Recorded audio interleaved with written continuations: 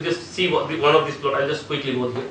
So when you increase the biomass, as I told, when I second second time when you did the experiment, 18 grams per liter, increase substrate concentration, you get the biomass boom. But we have also studied. I don't have report yet. After some 45 grams per liter of ferrous sulfate, you get toxic effect also in substrate. Every substrate has a toxic effect. So these are some models, but yeah, we'll come to chloride straight away. So we used as per the calculations. If you see the biomass, if you just focus in this place, if you see uh, this 19, uh, 9, 9 and 18 grams of chloride, if biomass increases.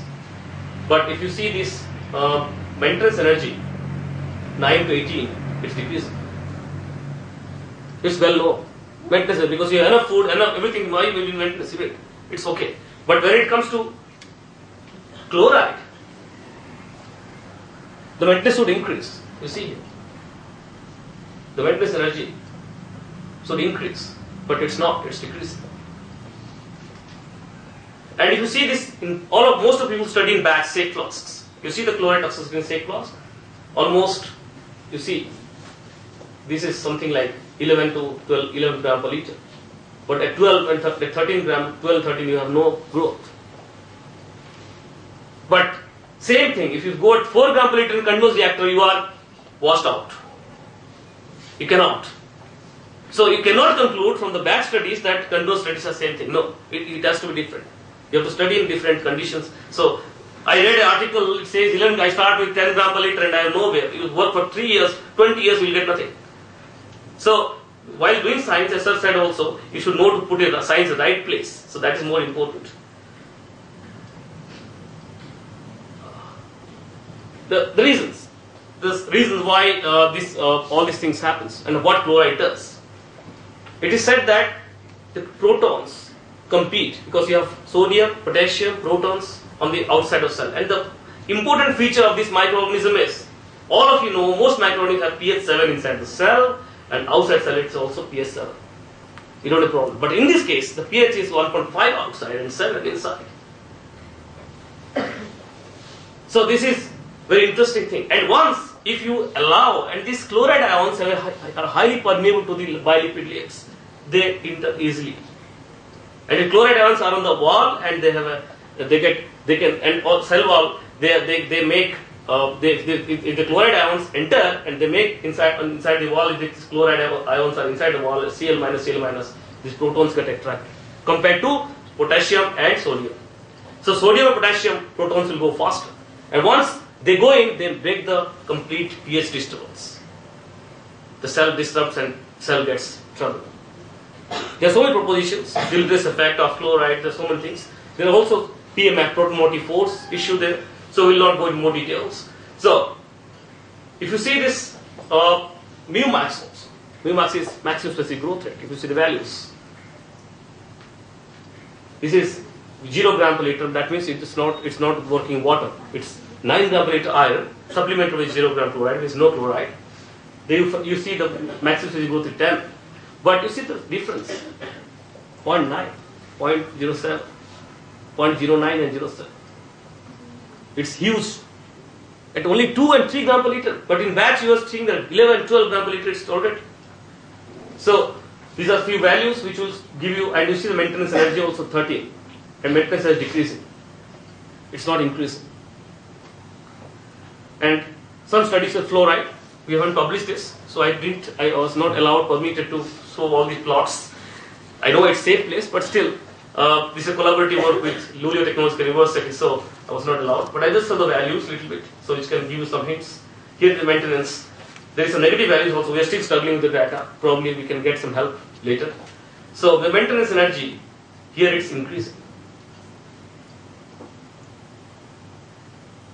It's increasing, it's not decreasing. In chloride, hydrochloride is more toxic because you make hydrofluoric acid and you can immediately kill. So, but in chloride it's decreasing. We found justification, but fluoride it's still a question mark. We're still on the process to find out a sufficient, a suitable reason for that. Fluoride. So, with this, I conclude. Questions for me also and for you all of you to think. Thank you. Thank you. And now we invite some questions from the audience. Uh, I should exercise my right to ask the first yes, question. please. uh, see, you said that you are controlling the attachment yeah. of the cells. Yeah. So how do you do that? Uh, we clean the reactor uh, every day. We have, it was tough, but uh, what was the issue was uh, we we had one clean reactor, three reactors ready with us, and uh, the attachment is jarosite first. We make jarosite formation, which is iron precipitate sulfate with some jarosite formula like sodium, ammonium, potassium. They Therefore, jarosite forms. Jarosite are quite sticky; they stick with the cells together. So hydrochloric acid, concentrated hydrochloric acid was used to clean the reactor every day. Purely hydrochloric acid. No, that is true. But Yeah. you see, um, I see there is a relationship between the attachment and the chloride concentration. Attachment is that was that, that that discussion I made with attachment is different and chloride concentration is different. True, but when you are passing the chloride, Yeah, uh, the chloride also inhibits the attachment. but it didn't happen like that. It didn't happen. have any uh, Yeah, there- cross this- checking in that? Yeah, we did that. Okay. We did that also. Uh, we, it is much easier job for us. If we, we, we first tried because everyone wants an easy way. Because every day cleaning a reactor for a student or a, for a scientist or anyone with hydrochloric acid, putting mask in his face, it's dangerous. It's dangerous or difficult job. That's also chloride. But what happens is these microorganisms they are very sticky because they stick to the minerals very hard also. A lot of study from I think from Germany, one group, uh, they have done a lot of work. They find very very they are, they never they make they, and they are also well known. They have three mechanisms uh, defined, well defined. They make EPS layer on the surface. See, biofilm formation is Yeah. an obvious. Uh, Yeah, they are very strong with that.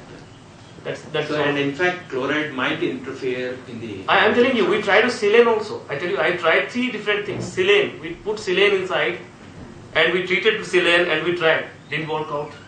We even tried to put some beads inside, some plastic, plastic, different type of plastic. We tried, let them attach on this, so that, but they are not happy to attach on the walls, because due to centrif, probably, sorry, probably due to centrifugal force, they are going, uh, and uh, even with baffles, but that is not allowing them to do the job in, in the in between instead. Probably there more engineering aspect to be understood in that. Yes.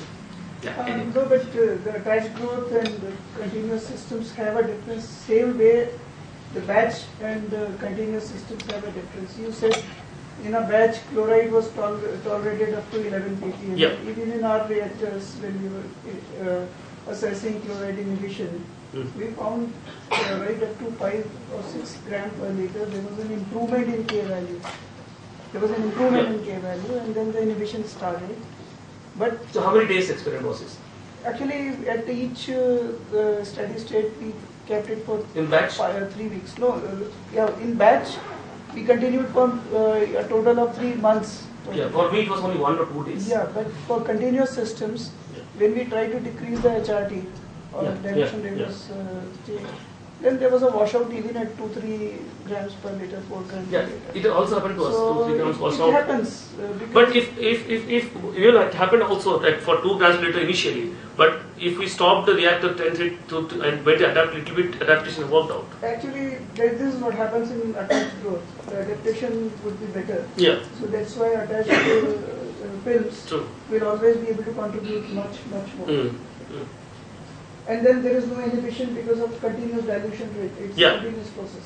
So the attached growth is not uh, getting affected by any no, but then excessive there are critical critical levels of attachment also. If there is a Yes. Okay. amount of biofilm, beyond you there will have- not be any Yeah. penetration inside True. the True. film of the True. substrate. No, it's a good thing. I need to study. Yeah. Yes.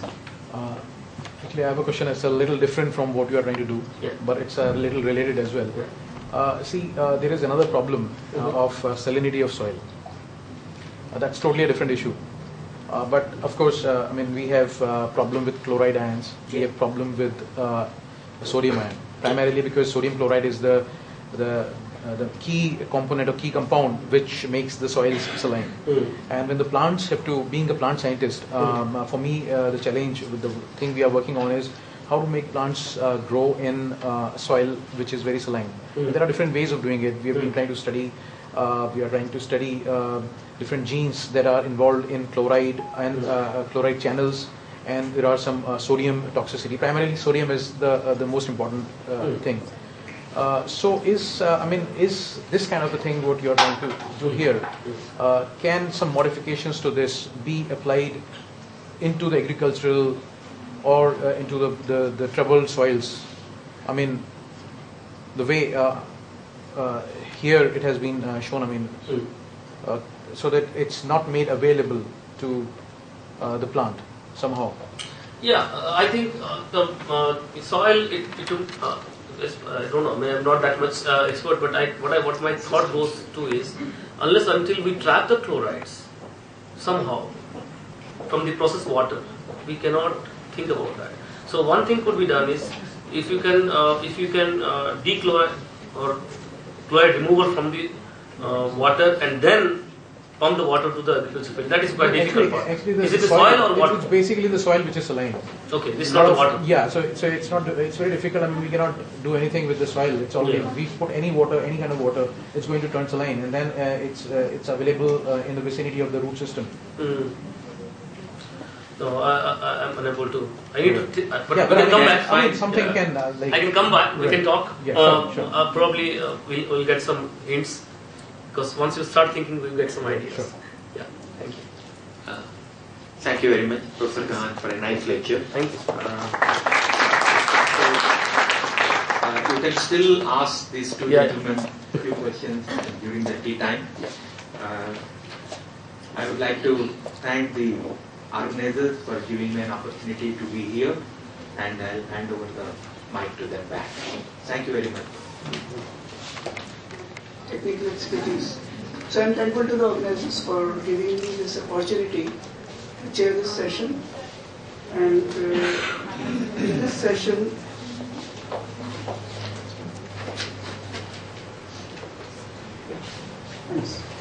there are two invited talks, one by Dr. Tarun Kant of uh, AFRI and by Dr. Akhil Agrawal. So uh, I, I request them to take half an hour each.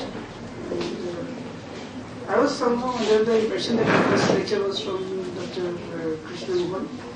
So I invite Dr. Tarun Kant from AFRI Jodhpur to deliver his on an argument in favor of GM technology for guaranteeing food security and environmentally sustainable agriculture. I'm sorry I do not have the uh, detailed scene. Request you to go ahead with your introduction. Right. Thank you. Thank you so much, sir. Thank you. Uh, thank you, Chairman. Thank you. Uh, first of all, I'd like to thank the organizers at the very onset for uh, it's a big honor to come here to stand before you all and to be able to talk about uh, the subject that I just love. All the dignitaries, the esteemed university, the IIS university, the faculty members, and the students. I see a lot of young faces, and I feel uh, this uh, GM technology is uh, pretty much a buzzword, and uh, a lot of you must be interested in in what the GM technology is. You know about it, you know about the controversies about it, and then I just want to say something why we should not be so much afraid about it. So that's what I'm going to talk about today. But let me start by drawing a tangent uh, at a very different end. And let me start by something else. An introduction I would like to, or a background on, uh, and slowly I'll come to this uh, topic of GM. Uh, this talk is not going to be very, very, uh, uh, I should say, full of a lot of uh, jargons and all. I just want to talk about uh, a misunderstood technology and a lot of uh, hyperbole about it and a lot of uh, criticism about it and but the technology which has a lot of scope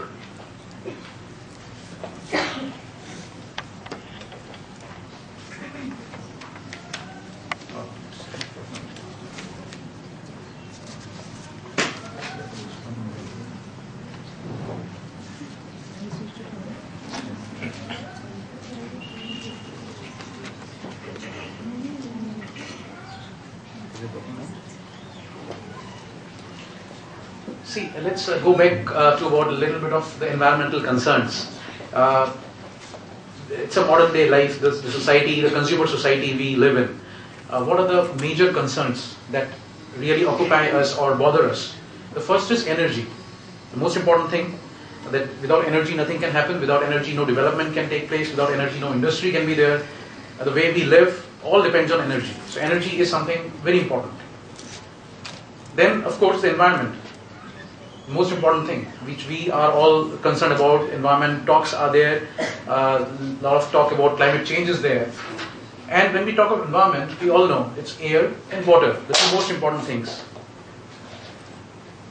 And then the third thing that concerns us all is the food that we eat. So let me talk about energy first. See, these are some statistics which I have gathered from different sources, very reliable sources like IUCN, mostly the International Union of the, the IUCN you all know. Uh, so uh, the FAO and IU, IUCN, I have uh, taken these information from there. The energy use will continue to grow in another 35% by 2020. So four years from now, uh, there will be a spike in energy use and it will just grow uh, and it will be another 35% increase. So more energy is required, right? We all know that. Commercial and residential energy use is the second most important and the most rapidly growing area. We are using energy. It used to be industry that used to be the, is still the biggest consumer, but household is next to that, and it consumes 29% of the global energy. So it's a big number. 29% of the whole energy is used by the household. And that contributes to 21% of the resultant CO2 emissions. We don't realize this, that the households are also polluting our environment.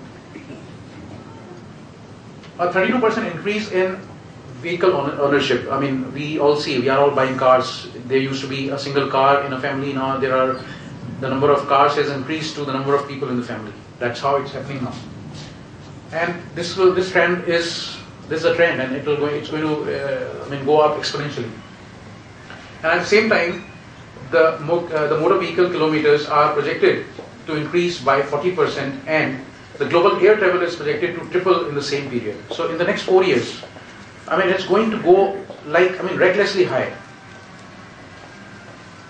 this is energy but energy is linked to the air the air and the water that we breathe and that we drink and that we use and that our agriculture uses. So let's talk about energy a little bit, about uh, air. About uh, air.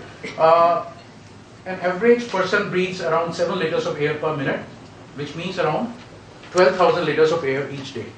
So that's how much we need.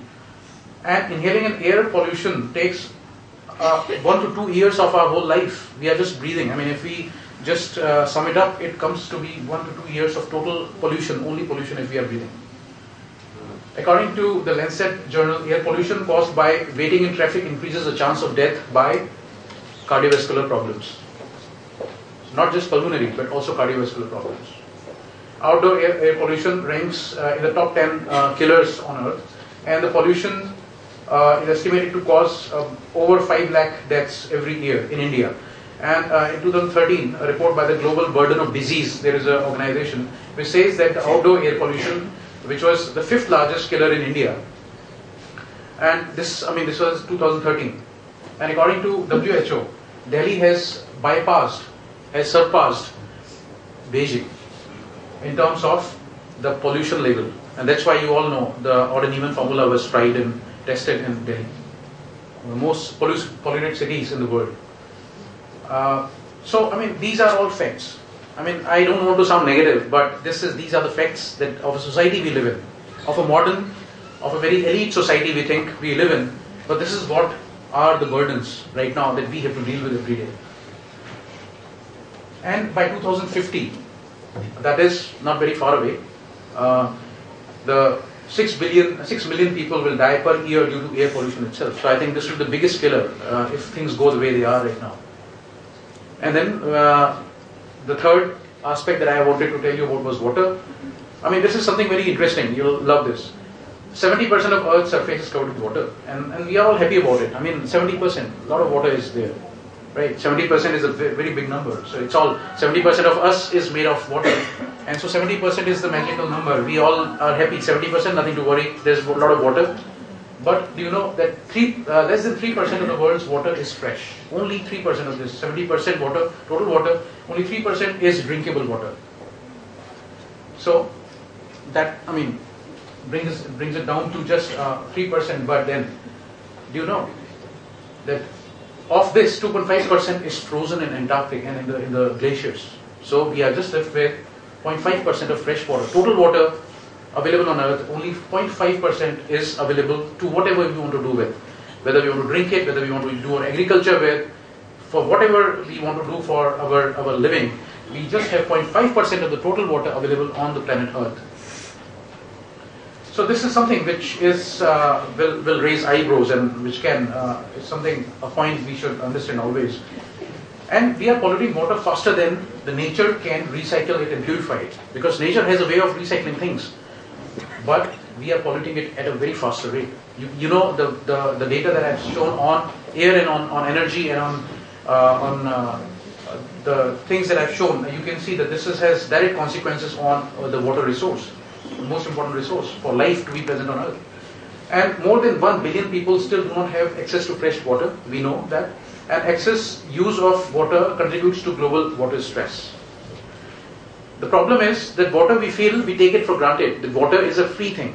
Like air, everything is free. We, are, we, should, we have free air to breathe. We have water is a free commodity available to us, and I call it commodity now because water is free from nature, but infrastructure needed to deliver it to us is expensive. We get it, we open the tap, and we get water. And that water that we get in our taps, which we take it for granted, that is something very expensive. The technology required to bring it to our taps is something very expensive, and that's only 0.5% of the total water. And the third thing, the food. Now, this my whole talk will concentrate around food, but everything is connected. That's why I, had shown you all those uh, those figures. Now, we all know that 1.3 billion tons of food is wasted every year, while almost another 1 billion people go undernourished, and another 1 billion go hungry. Overconsumption of food is detrimental. We all know that, and 1.5 billion people globally are overweight and obese, and the food sector accounts for around 30% of the world's total energy. So 21% uh, was the, the 29% was the household and the food sector uh, accounts for 30% of the world's total energy consumption and it leads to 22% of the total greenhouse gas emissions. So these are very big contributors. Together, they contribute about half the pollution that we are having right now. So let me um, ask you a very uh, funny question. What if one day there is nothing to eat. I mean, it'll, it'll sound very bizarre that how is it possible that we don't have anything to eat one day? Can it be possible? I mean, I was showing that there is over, there is, people are wasting food and uh, uh, I mean, people are uh, overweight because of food and uh, food habits. But what if one day we have, is this a looming danger? Well, friends, believe me, this is a real pertinent issue which is coming up very slowly and is going to be a reality very soon. Why? Because the projection says, IUCN says that by 2050, if consumption, if the current consumption rates and the current production patterns are there, the way we are producing, um, we are doing agriculture and all, we are producing food, and the way we are consuming it, and at the same time, the population which is supposed to rise up to 9.6 billion by 2050. That is 960 crores, the population of Earth. We will need three planets to sustain our way of living. This is not me saying that, this is IUCN has come up with. You can open the website. The last year they had uh, the uh, the World Environment Day, which was celebrated in, on uh, 5th of June, and the title was uh, 7 billion people, and we need three. Um, I mean, we need three planets to uh, if we go the way we are going right now. We'll require three planets. We just have one Earth. We cannot create three planets. So by 2050. So friends, what is the biggest pressure? The single most important pressure on Earth and consequently on the environment. I mean, I would like to ask the audience, what is the biggest pressure on Earth right now? Anyone? Very true. Population. So the population is the biggest pressure, and that's why everything is happening because of this population pressure. Let me show you a very interesting graph. This graph, uh, we have uh, uh, population uh, on this uh, side, uh, You can see uh, in 2, 4, 6 uh, billions, and here this is a batch of 50, 50 years. So starting from 1850, if we start, if you look at this graph, this is how the population trend has been on Earth. 1815, uh, 1850 to 1900s, that is the time I mean, Rani Lakshmi was there, so that's the starting point. And 1900s, the turn of the last century. Uh, this is how the population was around, say, 0.2 billion, and that increased to around, uh, say, 0.3 billion probably, uh, or maybe even less than that by in in uh, in 150 year uh, period. In the next 50 years, by the time we got our independence, 1950s, 1947 we got it. So by that time, the population of Earth was, it has just increased by four times, fourfold increase.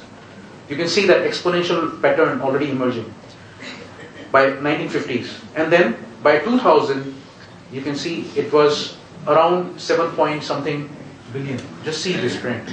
It's really scary. But what are the projections? What are the projections? What will happen in the next 50 years? Not, not even 50 years. What will happen by 2050? It is expected that we'll be around 9.6, that is 960 crores on Earth. And beyond that, well, things are going to collapse. I mean, this is an artist's uh, uh, interpretation of the whole thing, but this is how it looks like. It looks like we are riding a population tsunami. Things are just going to collapse after that. We just cannot sustain the way we are doing agriculture, the way we are consuming, the way things are going on right now. It just cannot go on and on like this. It is going to end somewhere, and this is the trend. And the United Nations says that the global food production has to be doubled by 2050 to what it is today. Doubling up, it's a very big task. I mean, it's not a joke. Doubling up the production by 2050. And we just have 34 years left with us. In 34 years, we have to double up the production to match this growing population. So, what is to be done? I mean, I've painted a very bleak picture, I'm sorry, but what has to be done? Do we have solutions with us? Can our agriculture, the way we do our agriculture today, does it have solutions, the technology available with it? The modern agriculture definitely has solutions. A lot of research has been done, and but the thing is, are we sure the way agriculture has progressed, we can match that figure of doubling of the agricultural produce? Can we produce more food for this rising population? The answer is yes, to some extent, but there is a big caveat. We have to pay a very heavy price for, for that doubling up with the way we do agriculture right now. And what price? This price. You all know the agricultural fields are overladen. The burden they are burdened with agrochemicals, the chemical pesticides, the fertilizers, all disastrous and dangerous chemicals. They have been used over and over for the years now, and that's why we have been able to match up the agricultural production. But the result has been toxic environmental overloads of these dangerous chemicals. Well, here is a train. I mean, you may be wondering what a train is doing in this uh, presentation. Well, friends, this is this train is the Abohar Jodhpur passenger train passing through Bathinda and Bikaner, and this train is known as cancer train. Many of you must be knowing it. It has been on TV many a times. Now, of this what it what this train does is it brings people from Punjab to Bikaner, where there is a cancer research institute, which they do charity and they do treatment of uh, cancer patients. And this uh, train is packed with cancer patients coming from Punjab. Why? Because because of contaminated water. Uh, because of contaminated water, excessive use of pesticides, herbicides, and chemicals, and high crop yield they have got, but they have paid, the price by having cancer. Almost every other household, the, fam- the farming family, the farming fraternity, they have they're suffering from cancer in Punjab. There was an uh, there was a study in 2004 by the Center for Science and Environment in Delhi, and they found high residues of pesticide in the blood of the farmers of Bathinda and Ropar district. So what next? Any solutions do we have? Well, solutions are there, but are we ready yet? Do we have the mindset to accept this solution that I'm trying to tell you here? they are not ready. Most of the people, most of the common man, I should say, uh, the, the aam janta, I should say, they are not ready for this, I guess. I'm talking of in, uh, the intelligent plants, the plants that can fight pests, that can survive abiotic stresses, that can have high yield and lot more. Yes, I'm talking about the GMOs. The GMOs, as we all know, are nothing but the genetically modified organisms or the transgenics. We all know about the BT cotton, which is a success story already, and all the cotton that is coming right now in India is all BT. And then we had BT brinjal, and there was so much of hue and cry in the country, and it has the government has put a moratorium on the uh, on the commercial release of BT brinjal because they want to do some, they want to be sure uh, that uh, nothing is wrong with it. So the question remains: Are genetically modified crops safe? Are they safe? That is the pertinent question running in everybody's mind. The technology is already controversial, as we all know. So much of uh, debates are going on uh, in the country, in the newspapers, in the science magazines. Then the question is, why are we paranoid about GM crops? Why? First of all, we are afraid. Most of us don't want to accept uh, GM technology. And uh, I mean, so many people uh, keep asking me, I mean, as uh, in, I've faced this question a lot, that why GM? And then the question is, why are we paranoid? Why are we afraid of it? Well, first of all, the anxiety of the unknown. This is a normal psychology. Because the anxiety of the unknown, we, we are going into a territory which is sort of unknown, unfamiliar. And then people call it unnatural. This important term, unnatural, I have put it, uh, I have highlighted it with inverted commas. Unnatural is are the GM plants or the GM crop that people produce, are they producing plants which are unnatural? So the fear of unfamiliar and unnatural is the biggest anxiety people have. And the concerns about health and environmental impact. Naturally, I mean these are issues. We are paranoid about GM food, particularly because of the pseudoscience. The propagation of pseudoscience has been instilled and that has, pretty, that has caused fear in the consumers. And what pseudoscience is that? I'll come to that. People feel that this is going to do something. If they eat uh, BT brinjal or uh, they eat something, then it's going to cause some harm in their body. And the consequences? The fact that the anti-GM lobby, like the Greenpeace and the GM-free India, there are a lot of people uh, working against the GM. Um, the fact is that the anti-GM lobby is positioning themselves as the good guys. They are presenting data. I have attended a seminar uh, a couple of days back, a couple of years back, I guess. They invited me to talk, and I talked in favor. And that was uh, organization uh, by the, uh, this. Uh, the seminar was organized by the GM Free India, and I mean I was surprised to see the posters they had everywhere in the that in that seminar venue. There were posters hanging in the seminar venue and uh, they had shown photoshopped uh, tomatoes. Uh, they had a, a, a tomato uh, was there with a leg of a chicken uh, and, and a, tomato with a face of a fish, and trying to tell people that I mean they have put genes from animal sources into the into the plants, and then you are I mean feeding on non-veg. I mean this is all it's all bogus.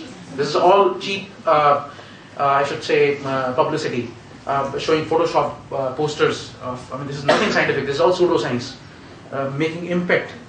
Uh, and there is uh, this in the UC Davis, University of California Davis, there is a World Food Center, and uh, the founder of the Genetic Literacy pro um, Project is there going on right now.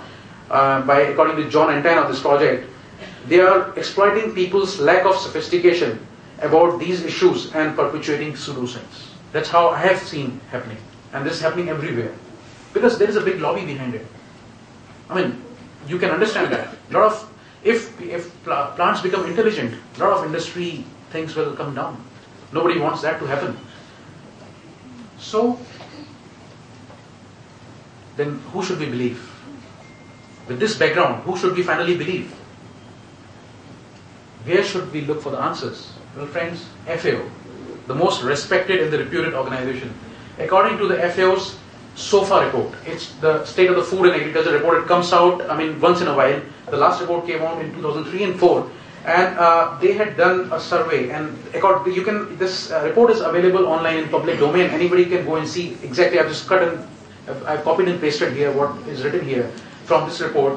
That thus far in those countries where transgenic crops have been grown, there have been no verifiable reports of them causing any significant health or environmental concern. There was uh, concern a couple of years back uh, when I was doing my PhD in 99, uh, ni- uh, 97 to 99, uh, that period I was working on uh, GM, and uh, there was a concern about monarch butterfly that it will be exterminated, but nothing of that kind happened. It's been 20 years now. Nothing has of that kind has happened. Pests have not become uh, resistant to BT, and some evidence of HT, that is uh, herbicide tolerance weeds have emerged, but super weeds, that they said super weeds will be there and they will invade the agricultural crops and all. Nothing has happened so far. In the countries where they are growing, like in US and in, in China, even in India, a lot of uh, crop is um, uh, GM already. Then let me show you some uh, quickly very uh, recent developments and some very uh, uh, recent findings. A recent US Supreme Court decision concurred that genetically modified alfalfa is safe. After a lot of work they had put in, after a lot of exercise they did, and this was published in the Forbes magazine, one of the most reputed uh, references. Uh, and uh, in 2013 only this report came out. The USDA has done a very thorough review and they have allowed genetically modified sugar beets to be grown. 2012, a meta-analysis of 12 long-term studies and 12 multi-generation studies was published in a very reputed journal, the Journal of Food and Chemical Toxicology. Uh, this journal is again available online uh, under open access and you can have a look at this journal and it says that the GM plants are nutritionally equivalent to their non-GM counterparts that can be safe uh, in food and feed. And according to an independent organization, Biofortified, they have uh, done hundreds of such studies and they found that there have been no harmful effects of the edible uh, GM. More studies are there. Uh, a more comprehensive study on the GM uh, was by the UC Davis Department of Animal Science and Genetics, uh, geneticist Alison Van Eenennaam and uh, Young. They have reviewed 29 years of livestock productivity, 29 years of studies this is, and uh, they have uh, done that, uh, they found that nothing is wrong uh, with the, the genetically engineered fodder that was fed to the animals. The results are published in the Animal Science Journal. You can have a look at this as well. 2014 this came out. So there are more. I mean, this is now becoming a routine. We are getting more and more reports out. Nature 2013 there was a special edition on GMOs. Uh, this is available. This whole uh, issue is available online for free. You can have a look. Uh, in this uh, uh, issue number uh, 497, that they say that the GM crops have increased the agricultural productivity by more than 98 billion US dollars.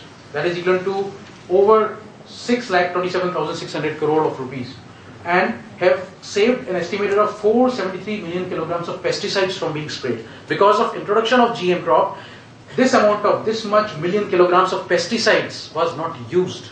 So this is a spin-off benefit of use of GM technology. Not just GM is doing good, but as a result of uh, using GM, uh, people are able to uh, save our environment from the use of the, uh, the pesticides and the other harmful agrochemicals. 2015, very recently, last year only, in the May 21 issue of the Newsweek magazine, this magazine was on genetic modification. Available for free, you can have a look at it. It says that there was an article that carries GM scientists could save the world from hunger if we let them. So, but I mean, the GM, the, the lobby is so strong, uh, not letting uh, this thing happen. But if it, they are, the GM scientists are allowed to do this, they can save. They have the technology, they have the know-how to do it. So, what's stopping us? The notion that genetic modification is unnatural, and the GM food is strengthened food. Finally, we come back to the same issue. So, we don't want anything unnatural. But is it really unnatural? Well, friends, let me uh, just show you. Uh, I mean, this is a historic uh, sort of uh, uh, slide. The Flavr Savr tomato was the first commercial uh, thing that came out uh, 32 years back. It came out, and uh, this was a transgenic plant produced by man, introduced into the market and consumed by people. It is being, it is, it is already there. It increases the shelf life of tomato, right? So Flavr Savr tomato was there 32 years back. Man produced it, introduced it, and this happened 32 years back, but do you all know that nature is making GMOs from the time immemorial, from eternity? I mean, this is happening in nature all the time. And when man is trying to do it, people are saying that it's wrong, we are doing something unnatural. Well, if you see this, this is a classic uh, tree of life. We all know this. We have all seen in textbooks. And we see that life started protists and it then over it evolved into multicellular and uh, the, the way we all know that. I, I won't go into the details. But what it tells about is that there is a unidirectional flow of genes from the, the parents to the offsprings. The, the gene flow, the DNA flow from in nature is unidirectional. And that is how things have evolved. And the genes pass on from the parents to their offsprings, to their offsprings, and so on and so forth. And this is known as vertical gene transfer. We all know the theory, and, and on the ba- based on the theory of vertical gene transfer is this classic figure we all have seen in all textbooks is based on that VGD or vertical gene transfer. But let me tell you, there are now proofs coming out because of the next generation sequencing technology that has uh, is available to the scientists, and a lot of work is going on. That you shake any branch of this tree, and you'll find out that new and new evidences for transfer of gene between the different branches is happening, not just unidirectional, but horizontally as well. Gene is being transferred. And that has happened in nature, that has happened in the past, and it's happening right now, and it's happened always. So if you look at this, this is what is exactly happening and has happened. So this is an old theory. Now this is the new theory. That there is gene transfer between different branches of this tree of life. The genes have transferred not just between different plants, unrelated species, unrelated genera, but between divisions, between kingdoms, between plants and animals. There have been there have been transfer of genes, and that has happened in nature. I'll quickly uh, go through. I don't know how much time I've left. Just I'll, I'll try to conclude. I'll just show you some examples quickly of these proofs which have come out in the recent past of natural genetic modification being done by nature trying to tell you that nothing is wrong in GM when we are trying to do horizontal gene transfer because genetic engineering is nothing but horizontal gene transfer. Nature is doing it already. Here are some of the examples. The vertical gene transfer we all know. I mean, I've already talked about it, but here are some examples that how widespread it is. The horizontal neochrome gene transfer from algae to fern. Otherwise, it's not possible. I mean, the there is a this uh, pigment neochrome we all know, and this pigment. Uh, I mean, when there is scarcity of light, algae uses it, and then ferns use it, but nothing in between. How can it? Uh, is it I mean, people uh, were. Uh, this was a big puzzle. But how is it possible that uh, a gene for neochrome has gone from algae into uh, into ferns, and they have now uh, come out that the ferns have not evolved neochrome on their own, but they have got it from ferns. There is a paper of horizontal gene transfer published in the Proceedings of the National Academy of Science, another very reputed, uh, I mean, uh, reference. Uh, anything published in PNAS is, I mean, as good as, uh, I mean, that is the bottom line. So the horizontal gene transfer of eruptive chimeric pho- uh, photoreceptor from bryophyte to fern. I mean, uh, th- there are papers uh, available. You can uh, go online and see all this is available in the public domain. Then another very interesting thing came out recently in 2015, last year itself. Uh, the sweet potato is a natural GMO. We all eat sweet potato. Nobody says don't eat sweet potato. We all eat it. And you'll be surprised that uh, in this very uh, cover page of PNAS uh, in uh, 2015, it is on sugar beet.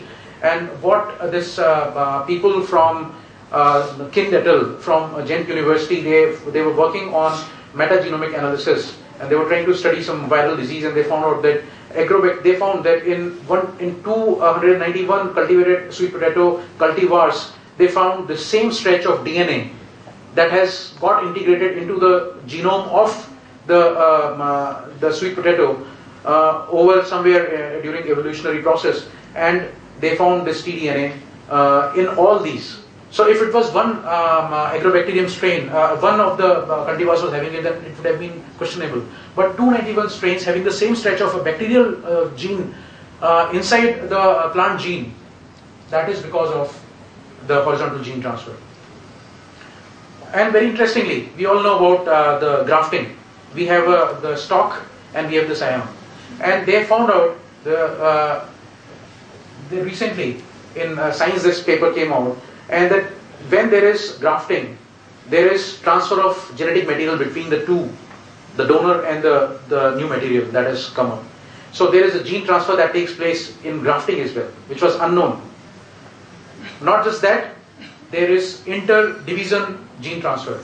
This is an animal. This is a sea slug, and this is a sea, slug which lives in the uh, in the sea, and it does photosynthesis. An animal doing photosynthesis.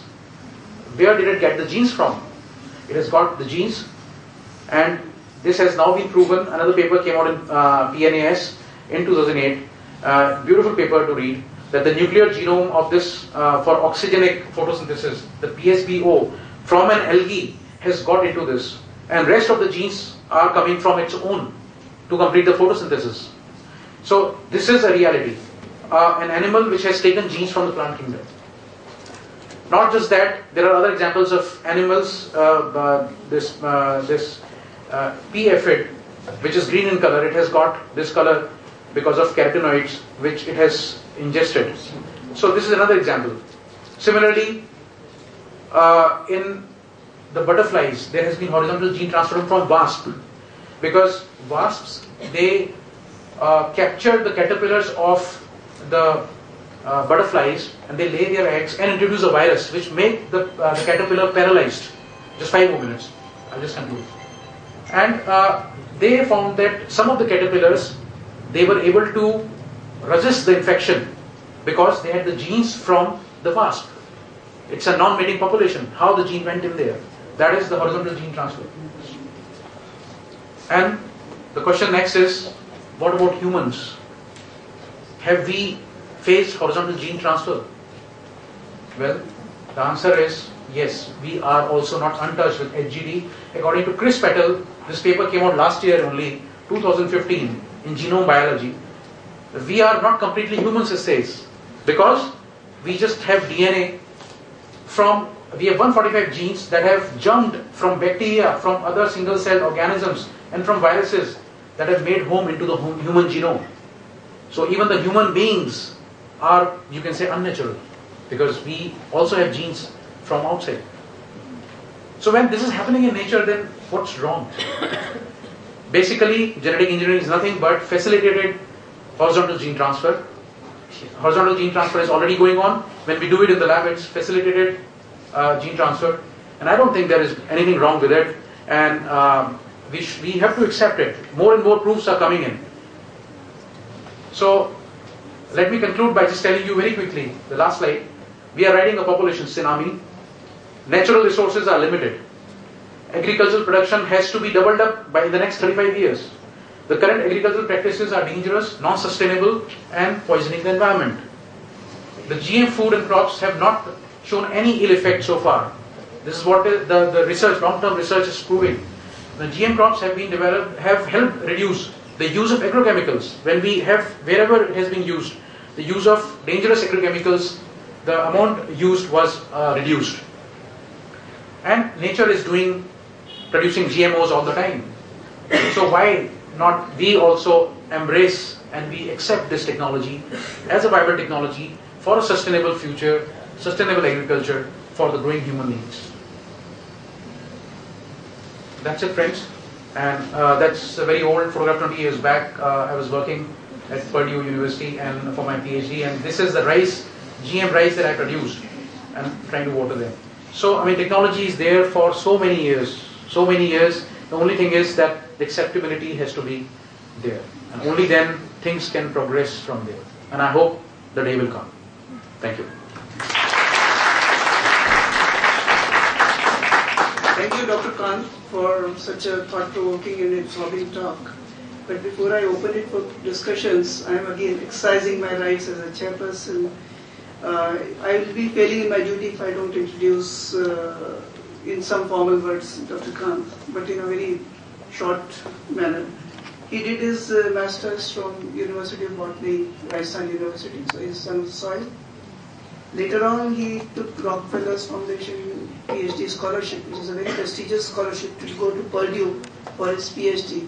And in our environmental engineering, Purdue University every year holds a conference that is supposedly the best in the world on industrial waste treatment. So it's a great place. then did his postdoctoral from University of Cambridge. I remember 1996 I wrote to Stuart Ferguson for some of his papers on Thiosphaera pantotropha and he immediately sent uh, quite a few papers. So that was one of the universities where uh, some work was going on. So he has great credentials and is currently scientist E at uh, AFRI. So uh, I mean it was interesting really to uh, look at your views. I just want to add a small comment about the cancer trade. In some of the areas where from a lot of people are turning up of cancer from Punjab to Bikaner, it has been going on for more than two decades now. Uh, some of these areas there is some radioactivity also reported which is probably exacerbating the problems. So that is another angle we can go ahead and uh, think about. But uh, I, just sum up what he said was biomimetics perhaps is one of the safest ways of going further with GM experimentation. So that is how I would like to sum up. Now the uh, house is open for discussions. Any questions from the audience?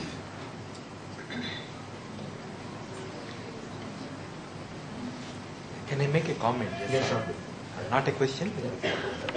See, the problem with the GMOs is because of the unintended side effects, which we cannot predict because the technologies that we were using were very gross, like bombarding them with the particles or something like that. but now we have systems like CRISPR-Cas, Right, exactly. where your precision of insertion is so good that uh, there is no unintended effect if you plan your Yeah. experiment in right. So I think it is a uh, we are in an interesting time Yeah. uh, that we should proceed with the GMO without any uh, fear of getting an unintended effect. Yeah, I mean, uh, the, uh, the CRISPR gene editing, I think, is something which is going to be the buzzword for the coming uh, several decades, I guess, and that's going to take us into very safe GMs. That's, I'm pretty sure about that. बहुत अच्छे से इसका मिला है कि ये unsafe नहीं है। फिर भी सर ऐसा क्यों है कि मतलब इतना ज़्यादा अपोजिशन जो आपने मुझे बताया यहाँ पे कि हम इसको इतना अपोज कर रहे हैं मीन वाइल कि अगर हम ट्रीटमेंट भी किसी को डिज़ीज़ का करते हैं तो हम हर चीज़ का जहाँ से भी उसके लिए बेटरमेंट होता है, हम उसको देते हैं। तो why not for the food qualities को अच्छा करने के लिए प्रोडक्शन को बढ़ाने के लिए इसका ओपोजिशन क्यों है? दैट वाज नॉट मतलब बैठा नहीं मेरे को समझ नहीं आया No, actually, it's uh, the opposition is because, uh, as I said, it's uh, the people have propagated pseudoscience. I mean, uh, it's sort of uh, there are a lot of agencies which have been misguiding because you see, uh, it's very complicated. It won't be right uh, for me to uh, at this uh, forum to uh, s- blame a particular organization or something, but I can just say that uh, people have been exposed to the darker side and have not been told about the benefits. Anything has two sides. Every coin has two sides. Definitely, there should be some demerits with every technology we use. Whatever we do, there are demerits. But people don't know about the uh, the merits of it. And uh, the the demerits have been so much exaggerated. As I was telling you, I attended a, a seminar where they had a poster, not just one, so many posters with, which were very funny to look. And people were saying, "See, I mean, what scientists are doing with us. I mean, they uh, were, uh, I mean, playing with the uh, sentiments of people, playing on this uh, vegetarian, non-vegetarian card, things like this, has taken a toll on on all this, on progression of science. What I say is, well, let's let at least let scientists come up and do research and uh, uh, come up with technology because I'm telling you one day. Uh, th- this is what we all know about. When uh, a person, howsoever, I mean, if, if there's a person who is on the deathbed and he needs to be fed, he's a vegetarian, he has been a vegetarian uh, all his life, and he has to be fed, say, something of animal origin, he will go ahead. He will be injected in uh, to survive. So the day when we will be uh, required to survive, when uh, when because that situation when nobody is able to picturize, but the day when that happens, uh, when we are towards a catastrophic uh, scenario, I think that's when people will start accepting But it shouldn't be too late then. So the research should at least keep going on. Trials should keep coming in. And uh, the data should be generated all these years as has been generated and the meta-analysis is happening right now, uh, world over. And I, I think with this kind of uh, study, uh, people with time will start understanding that GM is not that bad. Sir you can correlate this with the government projects के साथ जैसे आप जोड़े और awareness बढ़ाएं और जैसा कि बताए कि पेस्टिसाइड इतना मिलियन रिड्यूस हो जाएगा Right. अगर हम जीएम को करते हैं Yeah. तो it's a great benefit to the whole society कि आप फ़ूड प्रोडक्शन में इतना अच्छा करें और वही आज का कंसर्न है उसके अलावा Exactly, कोई और exactly, कंसर्न है भी exactly, नहीं thank you so much Thank you so much. Thank you. Uh, Any more questions?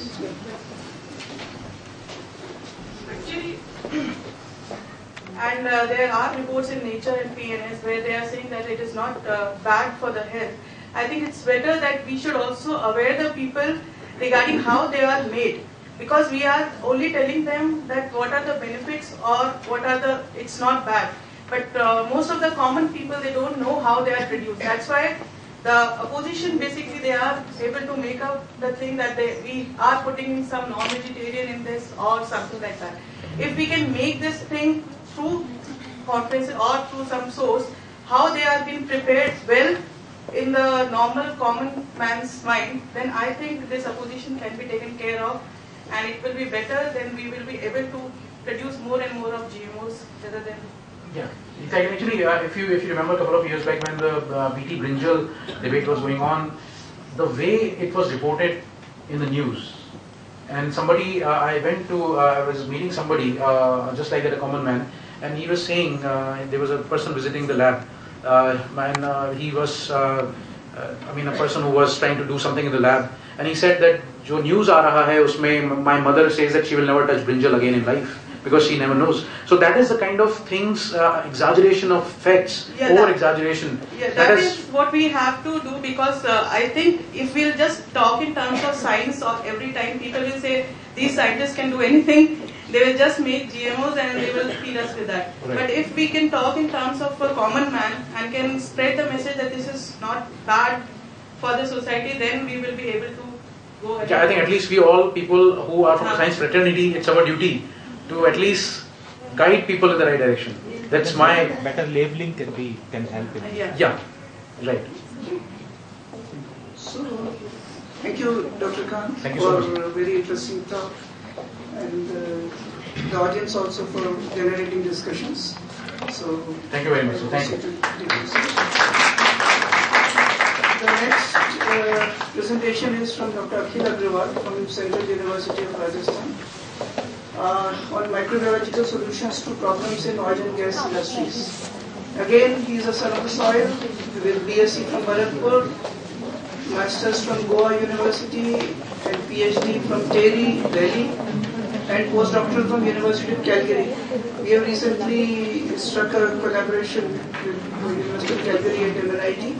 Uh, I know it's a great place and it has been uh,